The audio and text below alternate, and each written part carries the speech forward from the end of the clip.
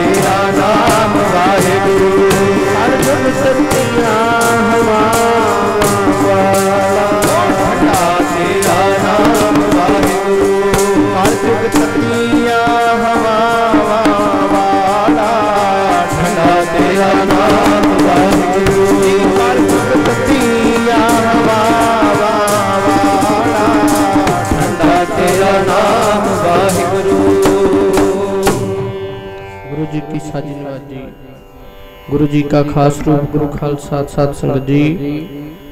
ਆਓ ਸਾਰੇ ਆਪਣੀ ਰਸਨਾ ਪਵਿੱਤਰ ਕਰੀਏ ਧੰਨ ਸ਼੍ਰੀ ਗੁਰੂ ਗ੍ਰੰਥ ਸਾਹਿਬ ਸੱਚੇ ਪਾਤਸ਼ਾਹ ਦੇ ਚਰਨਾਂ ਵਿੱਚ ਸੀਸ ਝੁਕਾਉਂਦਿਆਂ ਹੋਇਆਂ ਪਿਆਰ ਨਾਲ ਫਤਿਹ ਬੁਲਾਈਏ। ਕੋਈ ਵੀ ਰਸਨਾ ਵਾਂਝੀ ਨਾ ਰਵੇ ਸਾਰੇ ਆਖੋ ਜੀ, ਵਾਹਿਗੁਰੂ ਜੀ ਕਾ ਖਾਲਸਾ, ਵਾਹਿਗੁਰੂ ਜੀ ਕੀ ਫਤਿਹ। ਕਲ ਤਤੀ ਠੰਡਾ ਹਰ ਨਾਉ, ਸਿਮਰ ਸਿਮਰ ਸਦਾ ਸੁਖ ਪਾਉ। ਸਤਿਗੁਰੂ ਜੀ ਕਹਿੰਦੇ ਕਲਯੁਗ ਝੂਠ ਦਾ ਯੁੱਗ ਹਮੇਸ਼ਾ ਤੱਤੀ ਹਵਾ ਵਾਲਾ ਹੁੰਦਾ ਹੈ। ਤੇ ਇਹਦੇ ਵਿੱਚ ਜੇ ਕੋਈ ਠੰਡੀ ਚੀਜ਼ ਹੈ ਉਹ ਨਾਮ ਹੈ। ਗਰਮੀ ਦੀ ਰੁੱਤ ਬੜੀ ਗਰਮ ਹੈ ਪਰ ਸਤਿਗੁਰੂ ਕਹਿੰਦੇ ਕਲਯੁਗ ਦਾ ਜਿਹੜਾ ਪ੍ਰਭਾਵ ਹੈ ਇਹ ਇਹਦੇ ਨਾਲੋਂ ਵੀ ਜ਼ਿਆਦਾ ਹੈ। ਕਿਉਂਕਿ ਇਹ ਗਰਮੈਸ਼ ਤੇ ਸਰੀਰ ਨੂੰ ਲੱਗਦੀ ਹੈ ਪਰ ਇੱਕ ਕਲਯੁਗ ਦੀ ਤੱਤੀ ਹਵਾ ਜਿਹੜੀ ਜਿੰਦ ਨੂੰ ਸਾੜਦੀ ਹੈ। ਪਰ ਇਹਦੇ ਵਿੱਚ ਠੰਡੇ ਰਹਿਣ ਦਾ ਤਰੀਕਾ ਧੰਨ ਗੁਰੂ ਅਰਜਨ ਦੇਵ ਸਾਹਿਬ ਸੱਚੇ ਪਾਤਸ਼ਾਹ ਤੋਂ ਵਧੀਆ ਹੋਰ ਕੌਣ ਦੱਸ ਸਕਦਾ? ਜੇਠ ਦਾ ਮਹੀਨਾ ਕਿੰਨਾ ਗਰਮ ਹੈ? ਥੱਲੇ ਲੱਕੜਾਂ ਨੂੰ ਅੱਗ ਲਾਈ ਹੋਈ ਹੈ, ਤਵੀ ਤਪ ਰਹੀ ਹੈ। ਉੱਪਰ ਗਰਮ ਰੇਤ ਸਰੀਰ ਵਿੱਚ ਪੈ ਰਹੀ ਹੈ। ਔਰ ਧੰਨ ਗੁਰੂ ਅਰਜਨ ਦੇਵ ਸਾਹਿਬ ਸੱਚੇ ਪਾਤਸ਼ਾਹ ਇੰਨੀ ਗਰਮੀ ਦੇ ਵਿੱਚ ਵੀ ਠੰਡੇ ਠਾਰ ਬੈਠੇ ਨੇ। ਇਹਦੇ ਨਾਲੋਂ ਕੋਈ ਵੱਡੀ ਹੋਰ ਉਦਾਹਰਣ ਨਹੀਂ ਹੋ ਸਕਦੀ। ਮਹਾਰਾਜ ਕਹਿੰਦੇ ਕਲਯੁਗ ਦੇ ਸਮੇਂ ਵਿੱਚ ਵੀ ਠੰਡੇ ਰਿਹਾ ਜਾ ਸਕਦਾ ਹੈ। ਧੰਨ ਗੁਰੂ ਅਰਜਨ ਦੇਵ ਸਾਹਿਬ ਸੱਚੇ ਪਾਤਸ਼ਾਹ। ਚੰਦੂ ਤੱਤਾ ਹੋਇਆ ਪਿਆ, ਜੇਠ ਦਾ ਮਹੀਨਾ ਤੱਤਾ, ਜਹਾਂਗੀਰ ਬਾਦਸ਼ਾਹ ਗਰਮ ਹੋਇਆ ਪਿਆ। ਪਰ ਤੱਤੀ ਤਵੀ ਤੇ ਬੈਠੇ ਸੀਸ ਵਿੱਚ ਗਰਮ ਰੇਤਾ ਪੈ ਰਿਹਾ ਤਾਂ ਵੀ ਗੁਰੂ ਅਰਜਨ ਦੇਵ ਸਾਹਿਬ ਸੱਚੇ ਪਾਤਸ਼ਾਹ ਠੰਡੇ ਨੇ। ਸ਼ਾਂਤ ਨੇ। ਇੱਥੋਂ ਤੱਕ ਕਿ ਸਾਈ ਮੀਆਂ ਮੀਰ ਵੀ ਆਇਆ ਤੇ ਗਰਮ ਹੋ ਗਿਆ। ਕਹਿੰਦਾ ਸੱਚੇ ਪਾਤਸ਼ਾਹ, ਜਦੋਂ ਉਹਨੇ ਸਤਿਗੁਰੂ ਦਾ ਹਾਲ ਤੱਕਿਆ, ਕੁਰਲਾਇਆ, ਰੋਇਆ, ਕਹਿੰਦਾ ਮਹਾਰਾਜ ਤੁਹਾਨੂੰ ਇੰਨੇ ਤਸੀਹੇ ਚੱਲਣ ਦੀ ਕੀ ਲੋੜ ਹੈ? ਸਮਰੱਥ ਸਤਿਗੁਰੂ ਹੋ। ਪ੍ਰਤੱਖ ਹਰ ਗੁਰੂ ਅਰਜਨ, ਪ੍ਰਤੱਖ ਹਰ ਆਪ ਨਾਰਾਇਣ ਹੋ ਮਹਾਰਾਜ। ਤੁਹਾਨੂੰ ਇੰਨੇ ਦੁੱਖ ਤਸੀਹੇ ਚੱਲਣ ਦੀ ਕੀ ਜ਼ਰੂਰਤ ਹੈ? ਮੈਨੂੰ ਹੁਕਮ ਕਰੋ, ਮੈਂ ਕੋਈ ਐਸੀ ਖੇਡ ਰਚਾਵਾਂ, ਤੁਹਾਨੂੰ ਤੱਤੀ ਤਵੀ ਤੇ ਨਾ ਬੈਠਣਾ ਪਵੇ। ਜਾਂ ਜਿਹੜੇ ਤੁਹਾਨੂੰ ਤਸੀਹੇ ਦੇਣ ਵਾਲੇ ਨੇ, ਮੈਂ ਉਹਨਾਂ ਨਾਲ ਗੱਲ ਕਰਾਂ। ਗੁਰੂ ਸਾਹਿਬ ਕਹਿੰਦੇ, ਨਹੀਂ ਸਾਈਂ ਜੀ, ਗਰਮ ਨਹੀਂ ਹੋਣਾ, ਅਸੀਂ ਸ਼ਾਂਤ ਰਹਿਣਾ। ਭਾਣਾ ਮੰਨਣਾ ਭਾਣਾ ਮੰਨਿਆ ਸਤਿਗੁਰੂ ਗੁਰੂ ਅਰਜਨ ਦੇਵ ਸਾਹਿਬ ਸੱਚੇ ਪਾਤਸ਼ਾਹ, ਤਤੀ ਤਵੀ ਤੇ ਵੀ ਸ਼ਾਂਤ ਬੈਠੇ ਨੇ। ਐਸੀ ਸ਼ਾਂਤੀ ਜਿਹੜੀ ਆਪਣੇ ਸਿੱਖ ਨੂੰ ਗੁਰੂ ਸਾਹਿਬ ਬਖਸ਼ਣਾ ਚਾਹੁੰਦੇ ਨੇ। ਕਲਯੁਗ ਦੀਆਂ ਤਤੀਆਂ ਹਵਾਵਾਂ ਤੋਂ ਬਚਾ ਕੇ ਨਾਮ ਦੀ ਠੰਡ ਦੇਣਾ ਚਾਹੁੰਦੇ ਨੇ।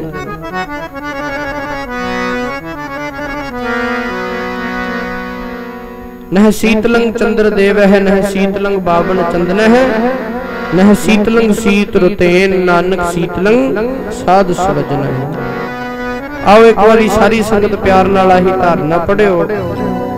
ਕਲਯੁਗ ਤਤੀਆਂ ਹਵਾਵਾਂ ਵਾਲਾ। ਠੰਡਾ ਤੇਰਾ ਨਾਮ ਵਾਹਿਗੁਰੂ ਪਹਿਲੇ ਹਿੱਸੇ 'ਚ ਦਾਸ ਸਾਰੇ ਸਿੰਘ ਵੀਰ ਭਾਈ ਬਜ਼ੁਰਗ ਬੋਲਿਓ ਫਿਰ ਸਾਰੀਆਂ ਮਾਤਾਵਾਂ ਭੈਣਾਂ। ਗੱਜ ਕੇ ਕਿਰਪਾ ਕਰਿਓ ਕੋਈ ਰਸਨਾ ਵਾਂਝੀ ਨਾ ਰਵੇ।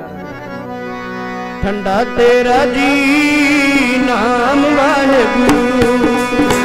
ਠੰਡਾ ਤੇਰਾ ਜੀ, ਨਾਮ ਵਾਹਿਗੁਰੂ। ਠੰਡਾ ਤੇਰਾ ਜੀ, ਨਾਮ ਵਾਹਿਗੁਰੂ। ਠੰਡਾ ਤੇਰਾ ਜੀ, ਨਾਮ ਵਾਹਿਗੁਰੂ। ਠੰਡਾ ਤੇਰਾ ਜੀ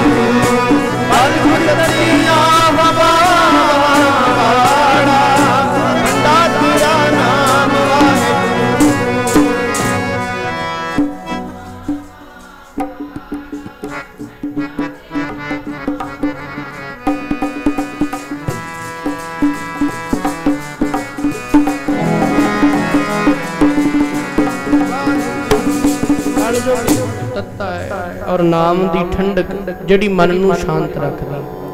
ਹੁਣ ਸਾਨੂੰ ਕੋਈ ਮੜਾ ਜਿਹਾ ਕੋਈ ਗਲਤ ਵਚਨ ਕਹਿ ਦਵੇ, ਕੌੜਾ ਬੋਲ ਬੋਲੇ, ਅਸੀਂ ਠੰਡੇ ਨਹੀਂ ਰਹਿ ਸਕਦੇ ਫਿਰ। ਬਾਹਰਲੀ ਗਰਮੀ ਤੇ ਕੁਦਰਤੀ ਰੱਬ ਦੇ ਬਣਾਏ ਹੋਏ ਨਿਯਮ, ਹੁਕਮ ਅਨੁਸਾਰ ਗਰਮੀ, ਸਰਦੀ, ਠੰਡ, ਇਹ ਬਰਸਾਤ ਜਿਹੜੀ ਹੈ, ਇਹ ਮੀਂਹ ਪਿਆ, ਪਰਮੇਸ਼ਰ ਪਾਇਆ, ਰੱਬ ਦੇ ਭਾਣੇ ਵਿੱਚ ਮੌਸਮ ਚੱਲਦੇ ਨੇ। ਪਰ ਗੁਰੂ ਤੋਂ ਗਿਆਨ ਲੈ ਕੇ ਧੰਨ ਗੁਰੂ ਗ੍ਰੰਥ ਸਾਹਿਬ ਦੀ ਸਿੱਖਿਆ ਔਰ ਨਾਮ ਦੀ ਦਾਤ ਜਦੋਂ ਗੁਰੂ ਕੋਲੋਂ ਮਿਲਦੀ ਹੈ ਫਿਰ ਆ ਠੰਡ ਮਿਲਦੀ ਹੈ। ਜੇ ਕੋਈ ਭੈੜਾ ਬਚਨ ਕਹਿੰਦਾ ਹੈ ਫਰੀਦਾ ਜਾਉ ਤੈ ਮਾਰਨ ਮੁਕੀਆਂ ਤੇ ਨਾ ਮਾਰੈ ਘੁੰਮ। ਆਪਨ ਡੈ ਘਰ ਜਾਏ ਕੈ ਪੈਰ ਤਿਨਾਂ ਦੇ। ਉਹ ਠੰਡਕ ਜੇ ਕੋਈ ਮਾੜਾ ਬੋਲ ਵੀ ਬੋਲਦਾ ਫਿਰ ਵੀ ਜਰਨ ਦੀ ਸ਼ਕਤੀ ਹੋਣੀ। ਕਹਿਣੀ ਸਹਿਣੀ ਰਹਿਣੀ। ਸਹਿਣ ਕਰਨ ਦੀ ਤਾਕਤ ਹੋਣੀ।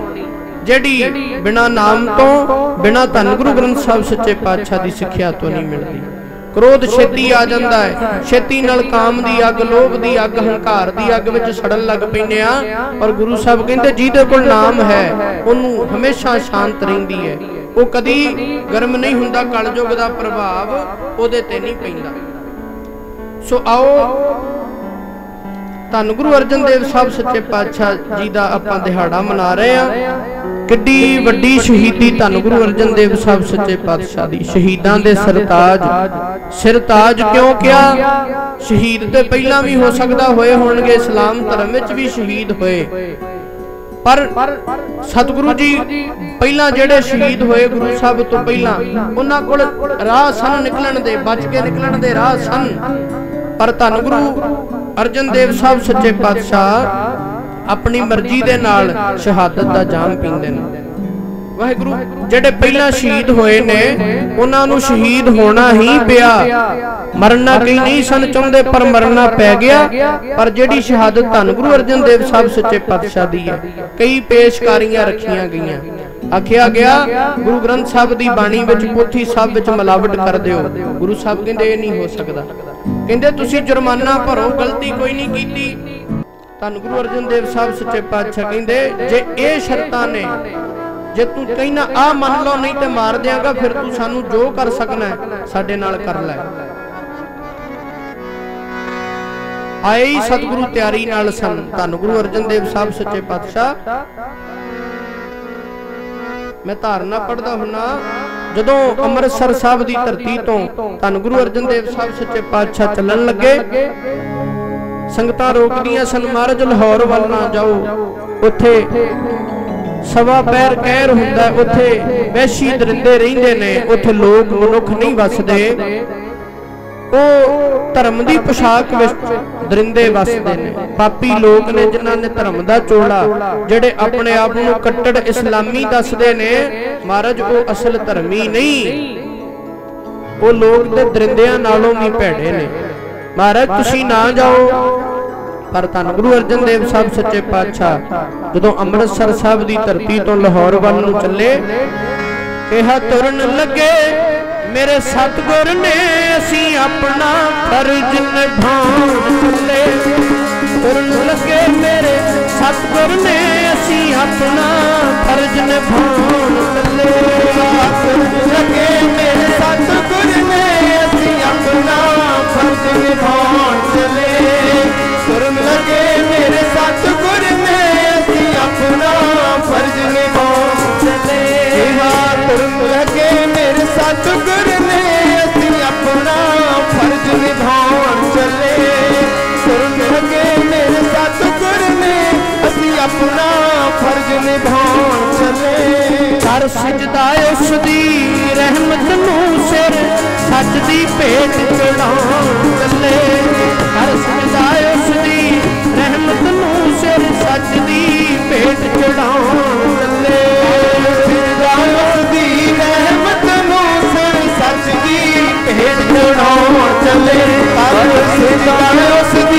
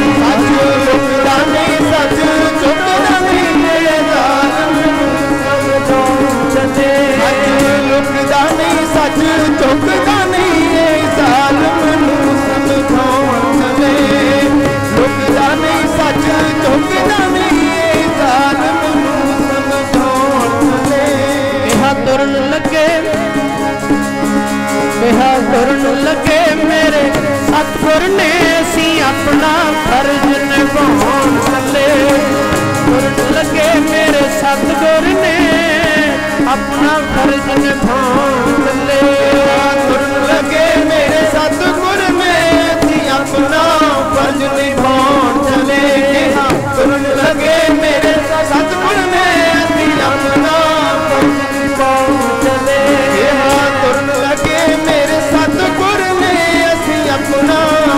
ਨਿਭਾਉਣ ਚਲੇ ਤੁਰਨ ਲੱਗੇ ਮੇਰੇ ਸਤਿਗੁਰ ਨੇ ਅਸੀਂ ਆਪਣਾ ਫਰਜ਼ ਨਿਭਾਉਣ ਚਲੇ ਗੁਰੂ ਅਰਜਨ ਦੇਵ ਸਾਹਿਬ, ਸੱਚੇ ਪਾਤਸ਼ਾਹ ਮਹਾਰਾਜ ਕਹਿੰਦੇ ਅਸੀਂ ਆਪਣਾ ਫਰਜ਼ ਨਿਭਾਉਣ ਚੱਲੇ ਆ।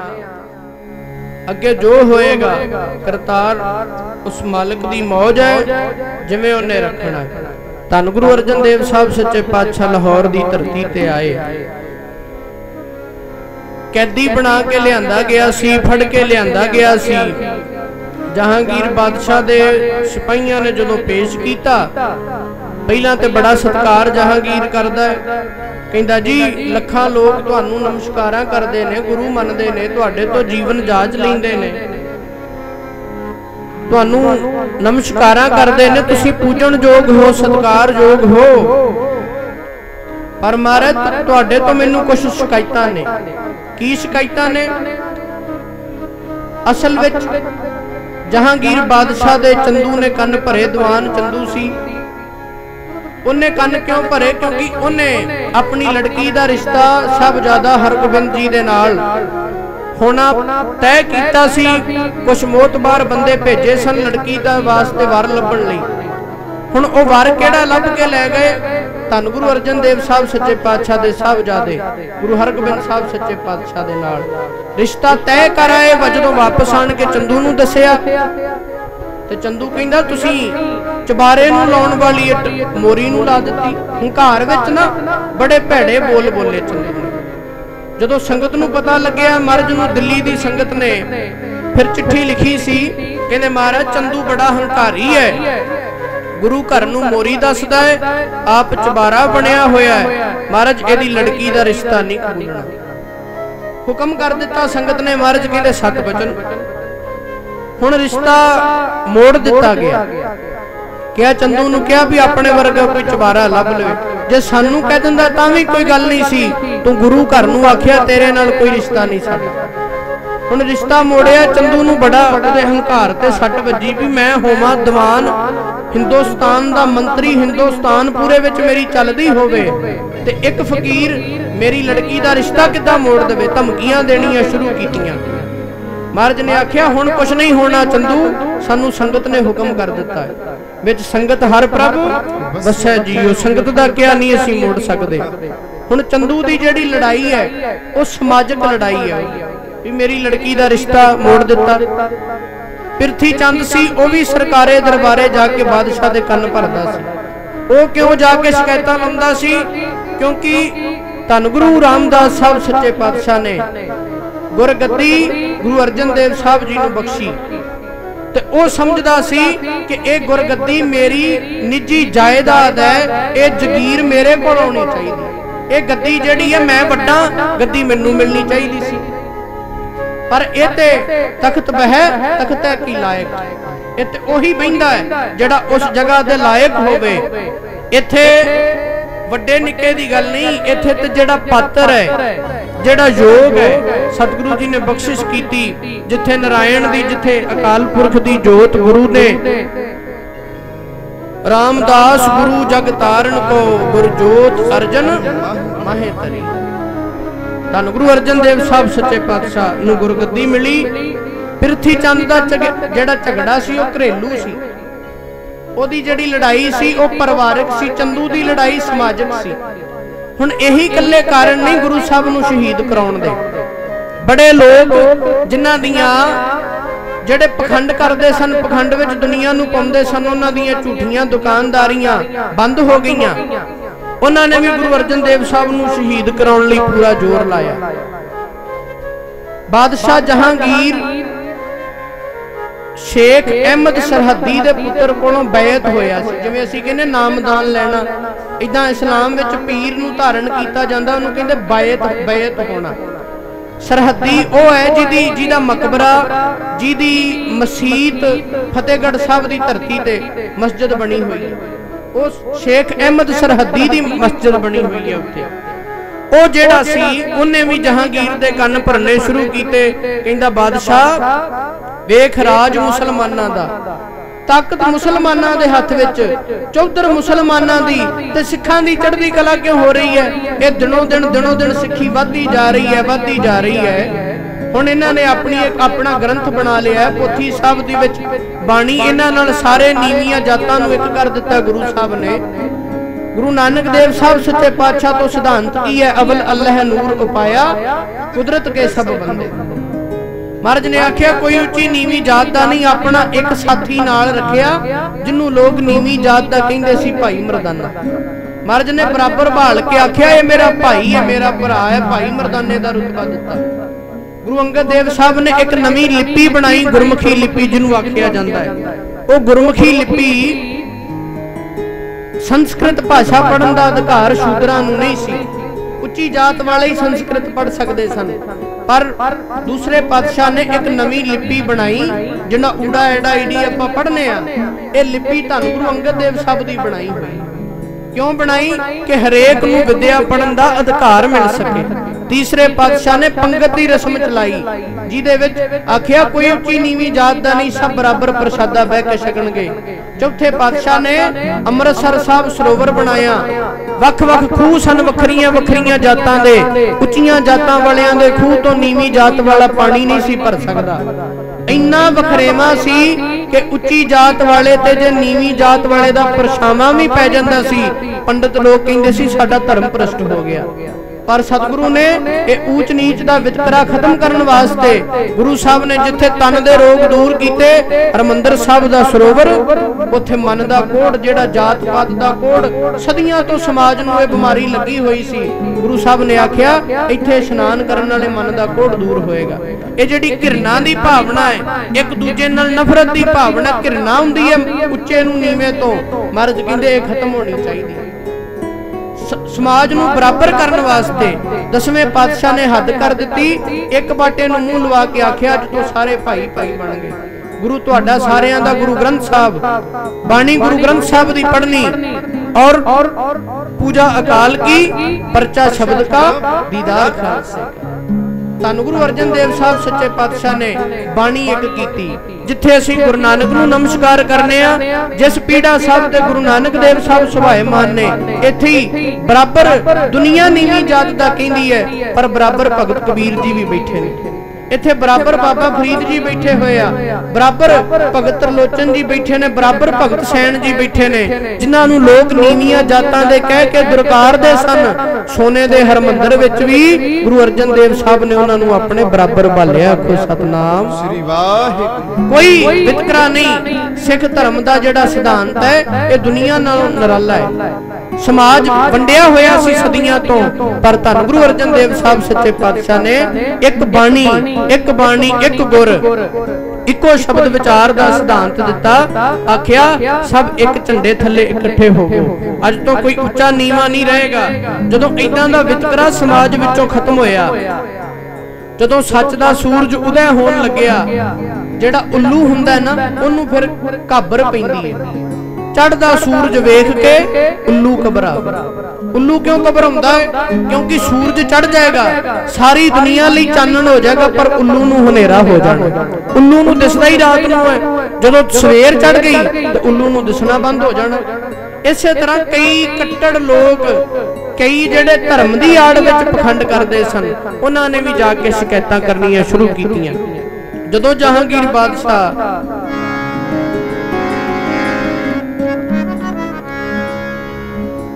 ਜਹਾਂਗੀਰ ਬਾਦਸ਼ਾਹ ਨੇ ਫਿਰ ਇਹਨਾਂ ਦੇ ਕਹਿਣ ਤੇ ਸੱਦਿਆ। ਪੁੱਛਿਆ ਕਿ ਤਾਂ ਗੁਰੂ ਅਰਜਨ ਦੇਵ ਸਾਹਿਬ ਸੱਚੇ ਪਾਤਸ਼ਾਹ ਤੁਸੀਂ ਹੋ ਪੂਜਣਯੋਗ ਸਤਿਕਾਰਯੋਗ ਪਰ ਤੁਹਾਡੇ ਤੋਂ ਮੈਨੂੰ ਕੁਝ ਸ਼ਿਕਾਇਤਾਂ ਨੇ। ਪਹਿਲੀ ਤੇ ਗੱਲ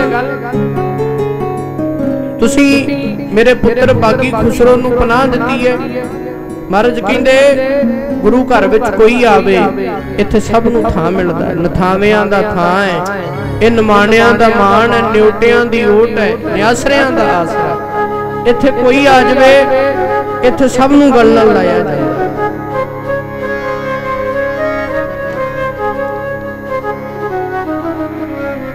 ਮਹਾਰਾਜ, ਤੁਸੀਂ ਬਾਗੀ ਨੂੰ ਪਨਾਹ ਦਿੱਤੀ ਹੈ, ਜੁਰਮਾਨਾ ਭਰਨਾ ਪਏਗਾ। ਤੁਸੀਂ ਮਹਾਰਾਜ, ਉਹਨੂੰ ਰਾਜ ਤਿਲਕ ਲਾਇਆ, ਉਹਨੂੰ ਮਾਇਆ ਦਿੱਤੀ ਹੈ। ਮਹਾਰਾਜ ਕਹਿੰਦੇ, ਅਸੀਂ ਕੋਈ ਮਾਇਆ ਨਹੀਂ ਦਿੱਤੀ, ਨਾ ਕੋਈ ਰਾਜ ਤਿਲਕ ਲਾਇਆ। ਜਦੋਂ ਕੋਈ ਗਲਤੀ ਨਹੀਂ ਕੀਤੀ, ਬਾਦਸ਼ਾਹ, ਅਸੀਂ ਕੋਈ ਜੁਰਮਾਨਾ ਨਹੀਂ ਭਰਨਾ। ਸੰਗਤ ਦੀ ਮਾਇਆ ਇਹਦਾ ਅਸੀਂ ਜੁਰਮਾਨਾ ਨਹੀਂ ਭਰਨਾ। ਕਹਿੰਦਾ ਜੀ, ਤੁਸੀਂ ਚੰਦੂ ਦੀ ਲੜਕੀ ਦਾ ਰਿਸ਼ਤਾ ਨਹੀਂ ਕਬੂਲਿਆ, ਮਹਾਰਾਜ ਕਹਿੰਦੇ ਸਾਨੂੰ ਸੰਗਤ ਨੇ ਹੁਕਮ ਕਰ ਦਿੱਤਾ ਸੀ, ਅਸੀਂ ਤਾਂ ਮਨਾ ਕਰ ਦਿੱਤਾ। ਤੀਸਰੀ ਬਾਤ ਕਹਿੰਦਾ ਜੀ, ਤੁਸੀਂ ਇੱਕ ਨਵਾਂ ਗ੍ਰੰਥ ਤਿਆਰ ਕੀਤਾ, ਪੁੱਥੀ ਸਾਹਿਬ। ਮਹਾਰਾਜ, ਉਹਦੇ ਵਿੱਚ ਕੁਝ ਲਾਈਨਾਂ ਐਡ ਕਰ ਦਿਓ, ਇਹ ਗੱਲਾਂ ਲਿਖੋ। ਕਿ ਇਸਲਾਮ ਧਰਮ ਹੈ ਜਿਹੜਾ ਇਹ ਸਭ ਨਾਲੋਂ ਚੰਗਾ ਹੈ ਧੰਨ ਗੁਰੂ ਅਰਜਨ ਦੇਵ ਸਾਹਿਬ ਨੇ ਜਵਾਬ ਦਿੱਤਾ ਬਾਦਸ਼ਾਹ ਸਾਰੇ ਹੀ ਧਰਮ ਚੰਗੇ ਨੇ ਕੋਈ ਧਰਮ ਨਹੀਂ ਮਾੜਾ ਤੁਮ ਰਾਮ ਕਹੋ वो रहीम कहे मतलब तो उस अल्लाह से है तुम दीन कहो वो धर्म कहे मतलब तो उसकी राह से है तुम सालक हो वो जोगी है मतलब तो उसकी चाह से है क्यों लड़ते हो नादा बंदे तेरी सब खाम ख्याली है है पेड़ की जड़ तो एक वही हर मजहब डाली डाली ਮਹਾਰਾਜ ਕਹਿੰਦੇ ਸਾਰੇ ਧਰਮ ਚੰਗੇ ਨੇ ਪਰ ਅਸੀਂ ਕੋਈ ਵਿਸ਼ੇਸ਼ ਨਹੀਂ ਲਿਖ ਸਕਦੇ ਕਿ ਇਸਲਾਮ ਧਰਮ ਸਭ ਨਾਲੋਂ ਚੰਗਾ ਹੈ ਸਾਰੇ ਧਰਮ ਆਪੋ ਆਪਣੀ ਥਾਂ ਸਤਿਕਾਰਯੋਗ ਨੇ ਇੱਥੇ ਅਕਾਲ ਪੁਰਖ ਦੀ ਗੱਲ ਹੈ ਕੇਵਲ ਸੱਚਾ ਧਰਮ ਅਸੀਂ ਕਿਹੜਾ ਮੰਨਿਆ ਸਗਲ ਧਰਮ ਹੈ ਸ੍ਰੇਸ਼ਟ ਧਰਮ, ਹਰ ਕੋ ਨਾਮ ਜਪ, ਨਿਰਮਲ ਕਰਮ।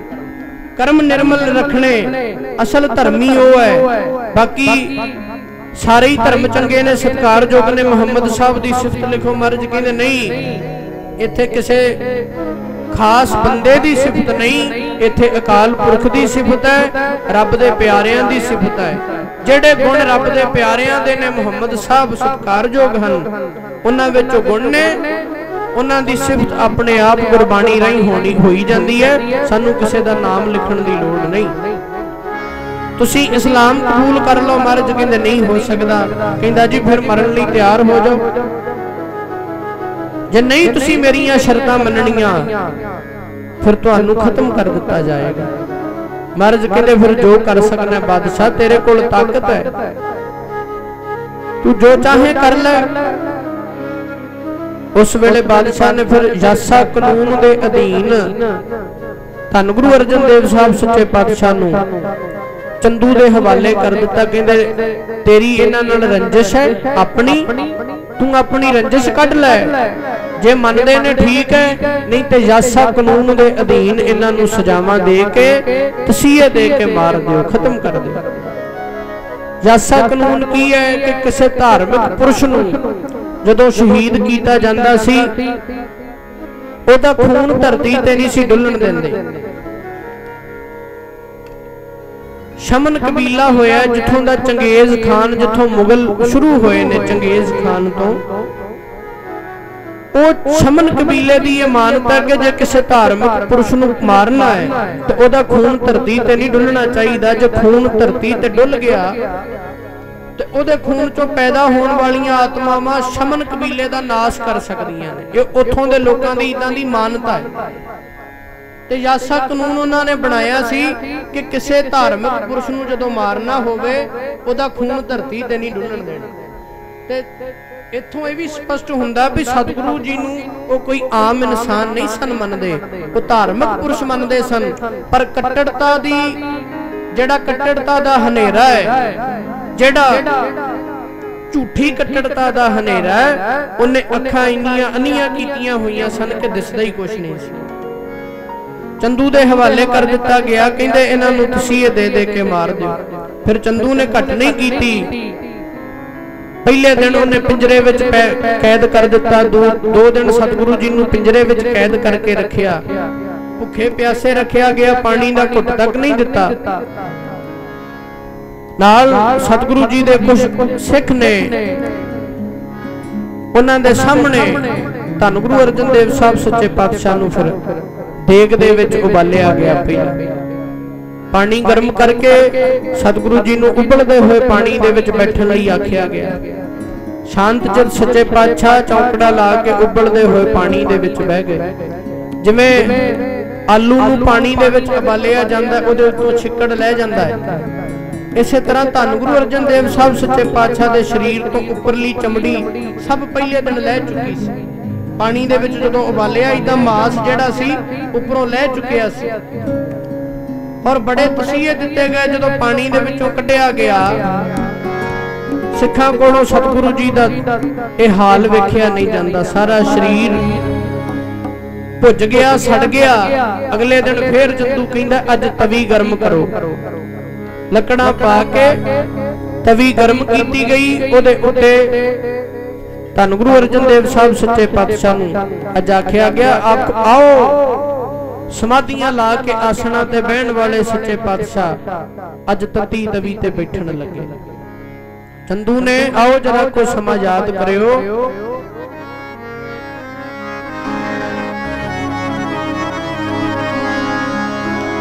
ਧੰਨ ਗੁਰੂ ਅਰਜਨ ਦੇਵ ਸਾਹਿਬ ਸੱਚੇ ਪਾਤਸ਼ਾਹ ਨੂੰ ਤੱਤੀ ਤਵੀ ਤੇ ਬੈਠਣ ਦਾ ਹੁਕਮ ਦਿੱਤਾ ਗਿਆ। ਆਖਿਆ ਗਿਆ, ਤੱਤੀ ਤਵੀ ਤੇ ਬਹਿਣਾ ਪੈਣਾ।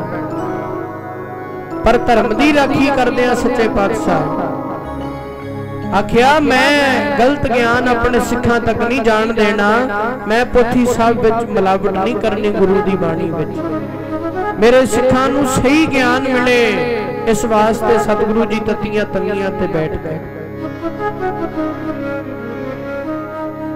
ਨੀਵੀਆਂ ਜਾਤਾਂ ਵਾਲਿਆਂ ਨੂੰ ਉੱਚੇ ਚੁੱਕਣ ਵਾਸਤੇ ਜਿਨ੍ਹਾਂ ਨੂੰ ਲੋਕ ਨੀਚ ਕਹਿੰਦੇ ਸਨ, ਉਹਨਾਂ ਨੂੰ ਉੱਚੇ ਚੁੱਕਣ ਵਾਸਤੇ ਧੰਨ ਗੁਰੂ ਅਰਜਨ ਦੇਵ ਸਾਹਿਬ ਸੱਚੇ ਪਾਤਸ਼ਾਹ ਤੱਤੀ ਤਵੀ ਤੇ ਬੈਠੇ ਨੇ। ਸੰਗਤ ਨੂੰ ਵੱਡਾ ਦਰਸਾਉਣ ਵਾਸਤੇ ਕਿ ਸੰਗਤ ਦਾ ਹੁਕਮ ਕਿੱਡਾ ਵੱਡਾ ਹੈ।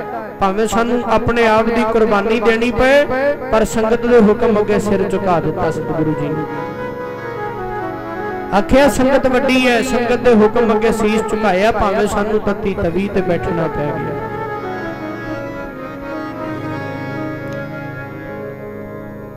ਸਮਾਧੀ ਲਾ ਕੇ ਧੰਨ ਗੁਰੂ ਅਰਜਨ ਦੇਵ ਸਾਹਿਬ ਸੱਚੇ ਪਾਤਸ਼ਾਹ ਤਪਦੀ ਹੋਈ ਤਵੀ ਦੇ ਉੱਤੇ ਬੈਠ ਗਏ ਨੇ। ਜਲਾਦ ਕੜਛੇ ਭਰ ਭਰ ਕੇ ਗਰਮ ਰੇਤ ਦੇ ਸਰੀਰ ਦੇ ਉੱਤੇ ਪਾ ਰਿਆ ਸਰੀਰ ਤੇ ਪਹਿਲੇ ਹੀ ਸਾਰਾ ਸੜਿਆ ਪਿਆ।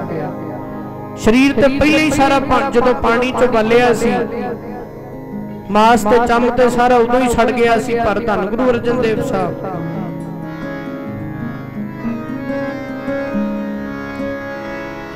ਜਦੋਂ ਗੁਰੂ ਜੀ ਨੂੰ ਤਵੀ ਤੇ ਬਿਠਾਇਆ ਸਾਰਾ ਹੀ ਲਾਹੌਰ ਕੰਬਿਆ। ਜਦੋਂ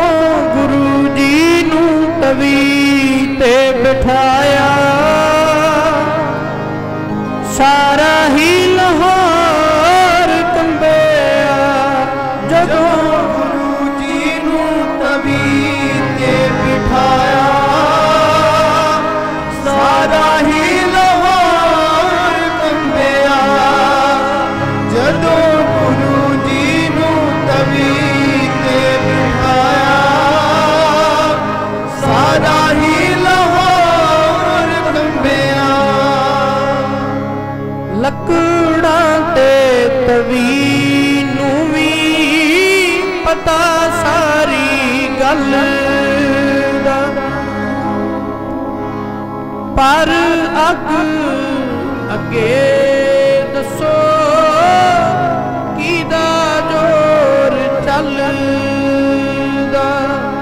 ਲੱਕੜਾਂ ਤੇ ਤਵੀ ਨੂੰ ਵੀ ਪਤਾ ਸਾਰੀ ਗੱਲ ਦਾ। ਪਰ ਅੱਗ ਅੱਗੇ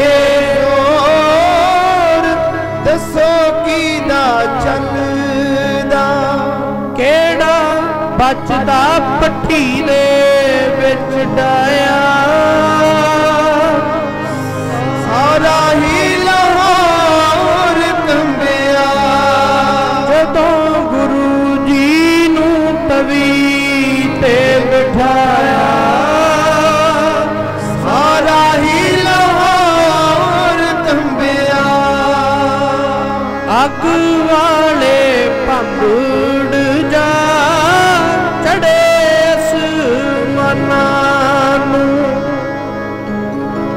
ਸਿਖਰ ਦੁਪਹਿਰ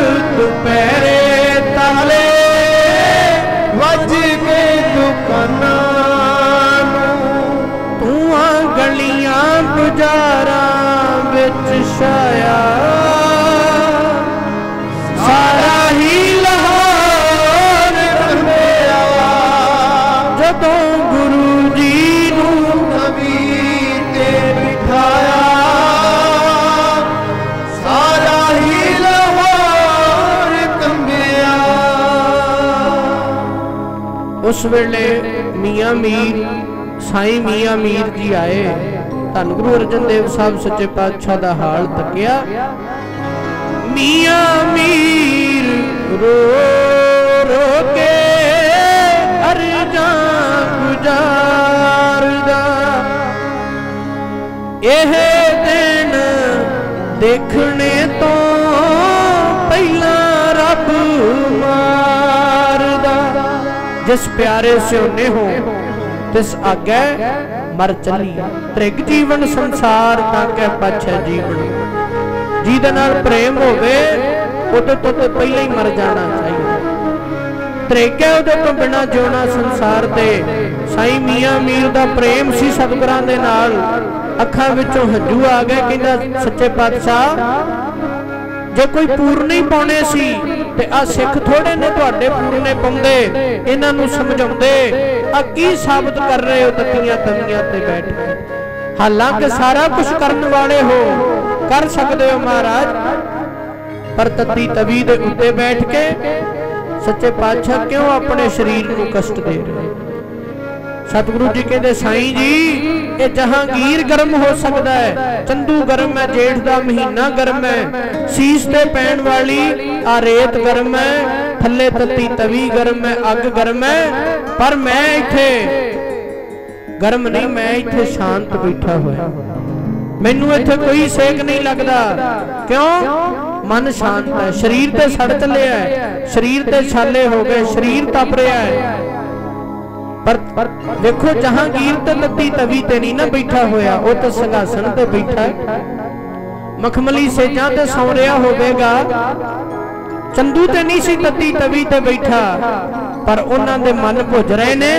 ਇੱਥੇ ਗੁਰੂ ਨਾਨਕ ਦੀ ਪੰਜਵੀਂ ਜੋਤ, ਗੁਰੂ ਅਰਜਨ ਦੇਵ ਸਾਹਿਬ ਤੱਤੀ, ਤਵੀ ਤੇ ਬੈਠੇ ਨੇ, ਪਰ ਫਿਰ ਵੀ ਸ਼ਾਂਤ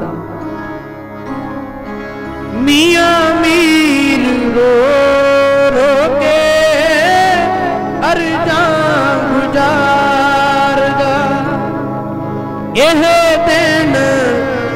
ਦੇਖਣੇ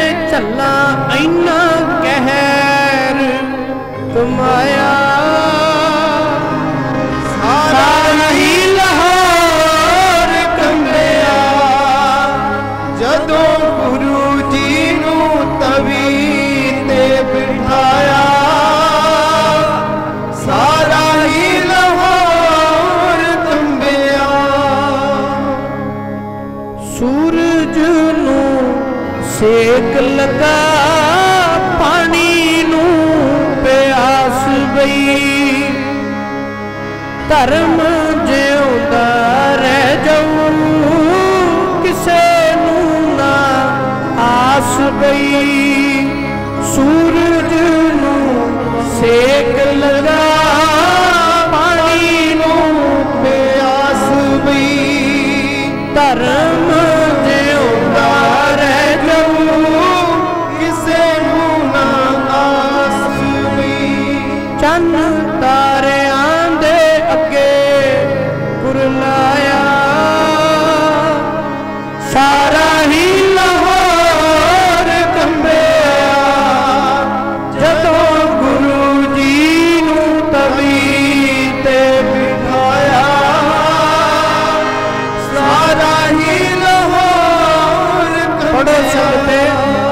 ਜਦੋਂ ਗੁਰੂ ਜੀ ਨੂੰ ਤਵੀ ਤੇ ਬਿਠਾਇਆ।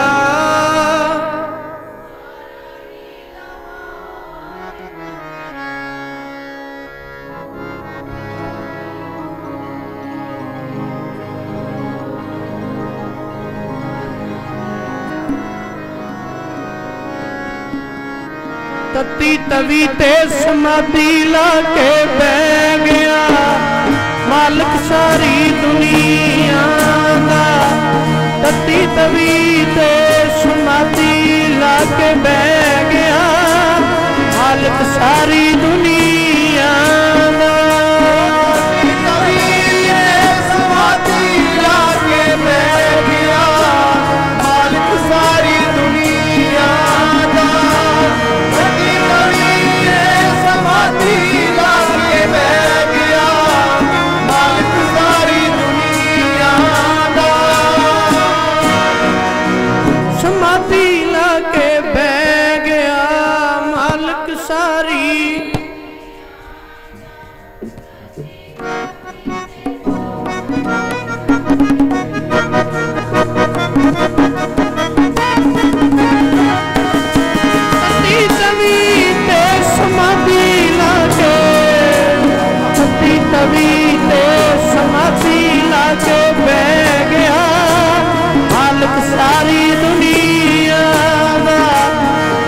ਤਤੀ ਤਵੀ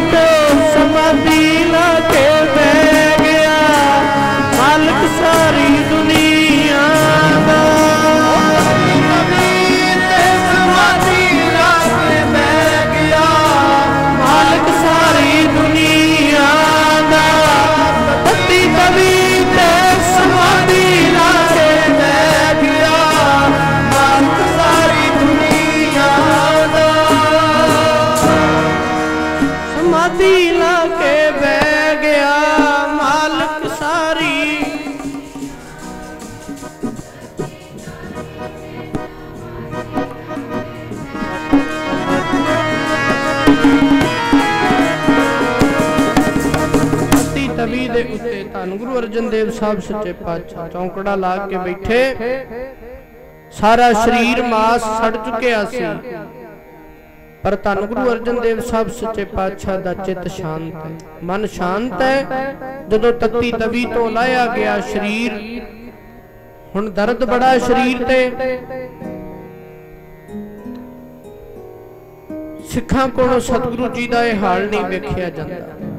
ਜਦੋਂ ਵੇਖਿਆ ਸੀ ਚੌਰ ਹੁੰਦਾ, ਵੇਖਿਆ ਸੀ ਸਿੰਘਾਸਣ ਤੇ ਤਖਤ ਤੇ ਆਸਣ ਤੇ ਬੈਠਿਆਂ ਨੂੰ ਵੇਖਿਆ ਸੀ। ਉਹਨਾਂ ਨੂੰ ਤਤੀ ਤਵੀ ਤੇ ਬੈਠਿਆਂ ਵੇਖ ਕੇ ਕਿਵੇਂ ਚੱਲਿਆ ਜਾ ਸਕਦਾ ਸੀ।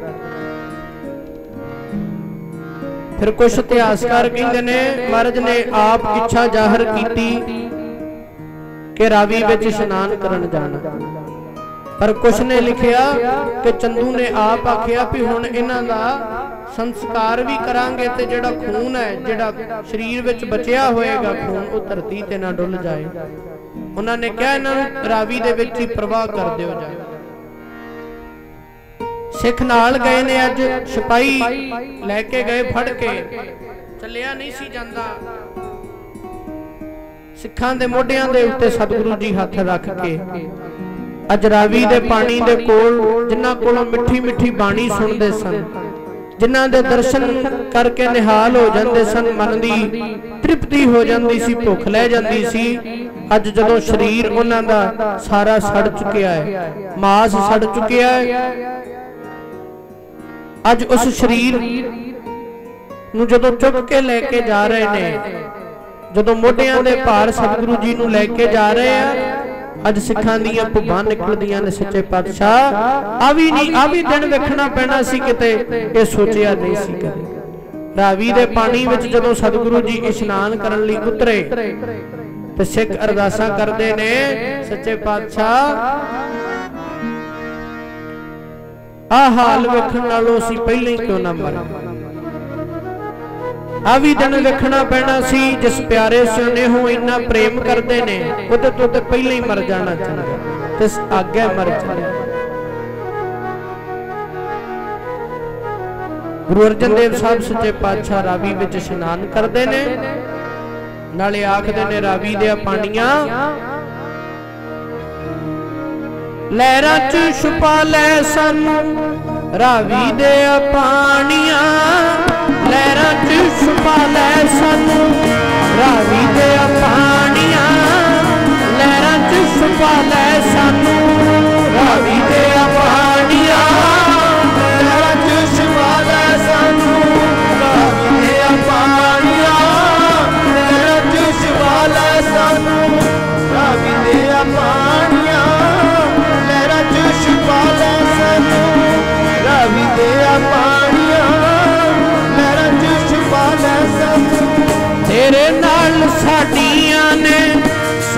ਸਾਂਝਾਂ ਨੇ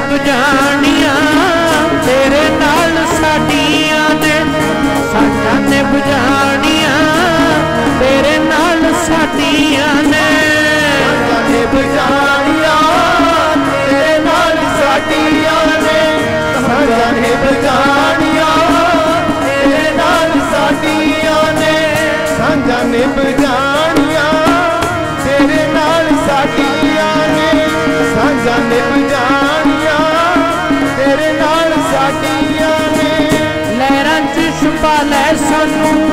ਰਾਵੀ ਦੇ ਪਾਣੀਆਂ ਲਹਿਰਾਂ ਚ ਲੈ ਸਾਨੂੰ ਰਾਵੀ ਦੇ ਪਾਣੀਆਂ ਲਹਿਰਾਂ ਚ ਲੈ ਸਾਨੂੰ ਰਾਵੀ ਦੇ ਪਾਣੀਆਂ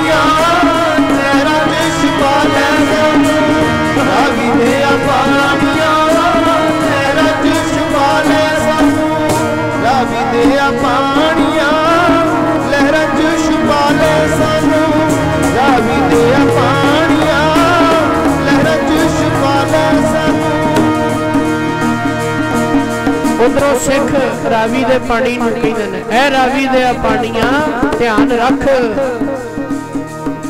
ਹੌਲੀ ਹੌਲੀ ਵਗ ਤੇਜ਼ ਨਾ ਚੱਲ। ਜੇ ਪਾਣੀਆਂ ਤੇਜ਼ ਚੱਲੇਗਾ, ਸਤਿਗੁਰੂ ਦੇ ਸਰੀਰ ਤੇ ਵੱਜੇਗਾ, ਤੇ ਇਹ ਤੇ ਸਰੀਰ ਅੱਗੇ ਛਾਲਿਆਂ ਨਾਲ ਭਰਿਆ ਹੋਇਆ ਥੋੜਾ ਜਿਹਾ ਤਰਸ ਕਰ ਲੈ। ਆਪਣਾ ਵੇਗ ਹੌਲੀ ਕਰ ਲੈ। ਮਾਹੀ ਦੇ ਸਰੀਰ ਤੇ ਛਾਲੇ ਬੜੇ ਹੋਏ ਨੇ।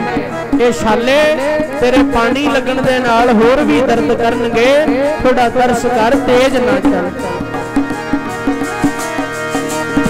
ਠੋਕਰਾਂ ਨਾ ਮਾਰਵੇ ਰਾਵੀ ਦੇ ਪਾਣੀਆਂ ਤੂੰ ਠੋਕਰਾਂ ਨਾ ਮਾਰਵੇ ਰਾਵੀ ਦੇ ਪਾਣੀਆਂ ਤੂੰ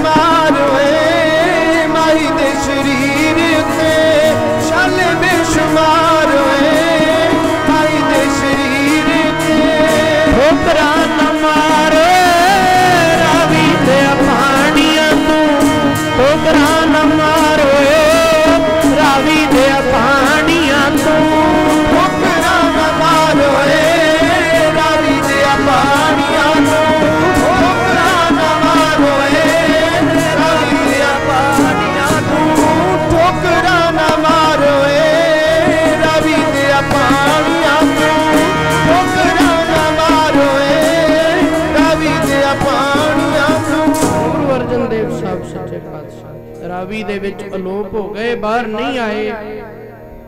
ਪਰ ਕਿੱਡੀ ਵੱਡੀ ਕੁਰਬਾਨੀ ਧੰਨ ਗੁਰੂ ਅਰਜਨ ਦੇਵ ਸਾਹਿਬ ਸੱਚੇ ਪਾਤਸ਼ਾਹ ਨੇ ਆਖਿਆ, ਸਿੱਖਾਂ ਕੋਲ ਸਹੀ ਗਿਆਨ, ਗੁਰਬਾਣੀ ਦੇ ਵਿੱਚ ਮਿਲਾਵਟ ਨਹੀਂ ਹੋ ਸਕਦੀ। ਆਉਣ ਵਾਲੇ ਸਮੇਂ ਵਿੱਚ ਵੀ ਸਿੱਖ ਜਦੋਂ ਬਾਣੀ ਪੜਨਗੇ ਉਹਨਾਂ ਕੋਲ ਕੋਈ ਮਿਲਾਵਟ ਵਾਲਾ ਗਿਆਨ ਨਹੀਂ ਜਾਣਾ ਚਾਹੀਦਾ। ਇਸ ਕਰਕੇ ਧੰਨ ਗੁਰੂ ਅਰਜਨ ਦੇਵ ਸਾਹਿਬ ਸੱਚੇ ਪਾਤਸ਼ਾਹ ਨੇ ਸ਼ਹੀਦ ਹੋਣਾ ਵੀ ਪ੍ਰਵਾਨ ਕਰ ਲਿਆ। ਪਰ ਆਓ, ਜਿੰਨਾ ਕਾਰਨਾ ਕਰਕੇ ਸ਼ਹਾਦਤ ਹੋਈ ਹੈ, ਅਸੀਂ ਗੁਰਬਾਣੀ ਨੂੰ ਪੜ੍ਹਨਾ ਸ਼ੁਰੂ ਕਰੀਏ। ਗੁਰਬਾਣੀ ਤੋਂ ਦੂਰ ਨਾ ਜਾਈਏ। ਧੰਨ ਗੁਰੂ ਗ੍ਰੰਥ ਸਾਹਿਬ ਸੱਚੇ ਪਾਤਸ਼ਾਹ ਦੀ ਬਾਣੀ। ਉਹ ਅਮੋਲਕ ਸਿੱਖਿਆ, ਉਹ ਤੁਰਕੀ ਬਾਣੀ ਦੇ ਨਾਲ ਆਪਾਂ ਜੁੜੀਏ, ਬਾਣੇ ਦੇ ਨਾਲ ਜੁੜੀਏ, ਜਿਹੜੇ ਨਗੁਰੇ ਉਹ ਗੁਰੂ ਵਾਲੇ ਬਣੋ, ਅੰਮ੍ਰਿਤ ਛਕ ਕੇ ਧੰਨ ਗੁਰੂ ਗ੍ਰੰਥ ਸਾਹਿਬ ਦੇ ਨਾਲ ਜੁੜੀਏ। ਸਤਿਗੁਰ ਬਾਝੋਂ ਗੁਰ ਨਹੀਂ ਕੋਈ ਨਗੁਰੇ ਕਾ ਹੈ ਨਾਮ ਬਰਾ ਬਾਣੀ ਬਾਣੇ ਦੇ ਧਾਰਨੀ ਅੰਮ੍ਰਿਤ ਹੋ ਕੇ ਗੁਰੂ ਵਾਲੇ ਬਣ ਕੇ ਆਪਣਾ ਜੀਵਨ ਸਫਲਾ ਕਰੀਏ। ਸਾਰੀ ਸੰਗਤ ਦਾ ਬਹੁਤ ਬਹੁਤ ਧੰਨਵਾਦ। ਮਹਾਪੁਰਸ਼ਾਂ ਦਾ ਬਾਬਾ ਰਣਜੀਤ ਸਿੰਘ ਜੀ, ਜਿਨ੍ਹਾਂ ਨੇ ਹੁਕਮ ਲਾ ਕੇ ਆਪ ਸੰਗਤ ਦੇ ਦਰਸ਼ਨ ਕਰਾਏ ਨੇ। ਸੋ ਬਹੁਤ ਖੁਸ਼ੀ ਹੋਈ ਇੱਥੇ ਮੈਂ ਪਹਿਲੀ ਵਾਰੀ ਦਾਸ ਆਇਆ। ਸਾਰੀ ਸੰਗਤ ਦਾ ਮਹਾਪੁਰਸ਼ਾਂ ਦਾ ਬਹੁਤ ਬਹੁਤ ਧੰਨਵਾਦ। ਕੋਟਾਨ ਕੋਟਵਰ ਸ਼ੁਕਰ ਤਨ ਤਨ ਸਾਹਿਬ ਸ੍ਰੀ ਗੁਰੂ ਗ੍ਰੰਥ ਸਾਹਿਬ ਸੱਚੇ ਪਾਤਸ਼ਾਹ ਜੀ ਦਾ।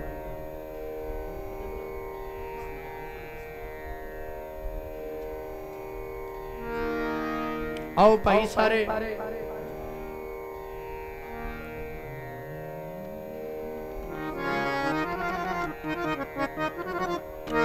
ਹਰ ਥਾਂ ਇਹ ਧਾਰਨਾ ਪੜੀ ਦੀ ਹੈ ਬੇਨਤੀ ਦੇ ਰੂਪ ਵਿੱਚ ਸਾਰੀ ਸੰਗਤ ਆਓ। ਕੋਈ ਰਸਨਾ ਵਾਂਝੀ ਨਾ ਰਵੇ, ਸਾਰੀ ਸੰਗਤ ਨਾਲ ਬੋਲੇ। ਪਿਤਾ ਦਸ਼ਮੇਸ਼ ਦੀਆਂ ਖੁਸ਼ੀਆਂ ਜੋ ਲੈਣੀਆਂ ਠੰਡੋ ਵਾਲਾ ਅੰਮ੍ਰਿਤ ਪੀ ਦੀ ਸੰਗ ਤੇ ਠੰਡੋ ਵਾਲਾ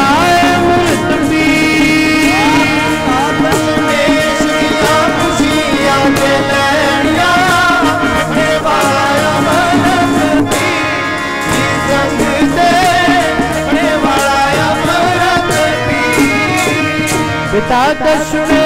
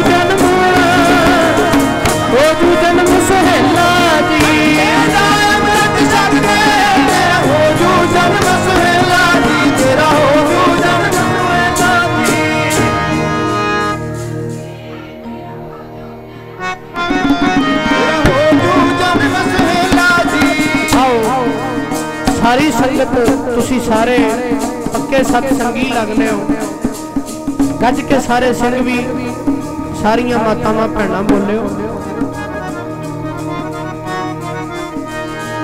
ਬੀਬੀਆਂ ਸਾਰੀਆਂ ਅਸੀਂ ਕਲਗੀ ਧਰ ਦੀਆਂ ਧੀਆਂ ਹਾਂ। ਸਾਰੇ ਸਿੰਘ ਆਪਾਂ ਆਖਾਂਗੇ, ਅਸੀਂ ਪੁੱਤ ਹਾਂ ਗੁਰੂ ਗੋਬਿੰਦ ਸਿੰਘ। ਦੇ ਪਹਿਲਾਂ ਸਾਰੀਆਂ ਬੀਬੀਆਂ ਇੱਕ ਵਾਰੀ ਚ ਬੋਲਣਾ, ਅਸੀਂ ਕਲਗੀ ਧਰ ਦੀਆਂ ਧੀਆਂ ਹਾਂ। ਸਿੰਘ ਸਾਰੇ ਕਹਿਣਗੇ, ਅਸੀਂ ਪੁੱਤ ਹਾਂ ਗੁਰੂ ਗੋਬਿੰਦ ਸਿੰਘ। ਬੋਲਿਓ ਜੀ।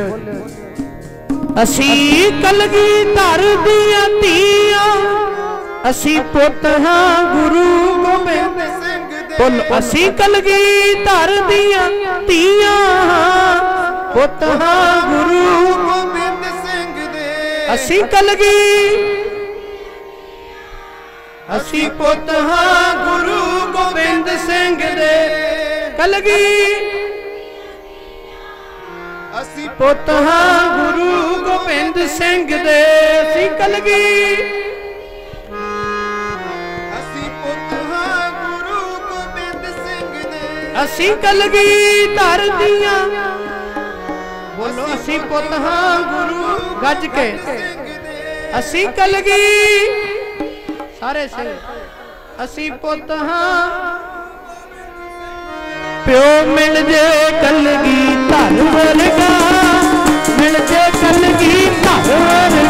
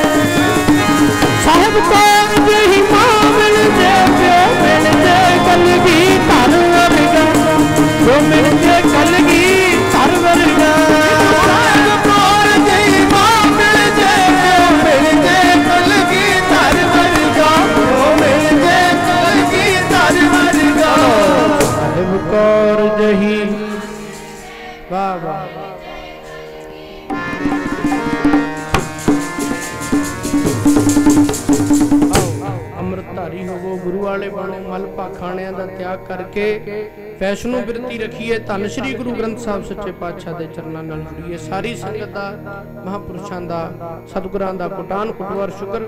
ਸਾਡੀਆਂ ਹੋਈਆਂ ਭੁੱਲਾਂ, ਚੁੱਕਾਂ, ਅਣਜਾਣ ਬੱਚੇ ਜਾਣ ਕੇ ਸਾਡੀ ਝੋਲੀ ਪਾਇਓ। ਭੁੱਲਾਂ ਨਾ ਚਤਾਰਨਾ, ਗੁਰੂ ਸਾਹਿਬ ਅੱਗੇ ਅਰਦਾਸ ਕਰਿਓ, ਸੱਚੇ ਪਾਤਸ਼ਾਹ ਸਮਤ ਬਖਸ਼ਣ। ਸਾਰੀ ਸੰਗਤ ਗੱਜ ਕੇ ਬੁਲਾਓ, ਫਤਿਹ ਆਓ, ਹੁਣ ਮਹਾਪੁਰਸ਼ਾਂ ਨੂੰ ਸਰਵਣ ਕਰੀਏ। ਸਾਡੀਆਂ ਭੁੱਲਾਂ, ਚੁੱਕਾਂ ਖਿਮਾ ਕਰਿਓ। ਗੱਜ ਕੇ ਆਖੋ ਜੀ, ਵਾਹਿਗੁਰੂ ਜੀ ਕਾ ਖਾਲਸਾ, ਵਾਹਿਗੁਰੂ ਜੀ ਕੀ ਫਤਿਹ।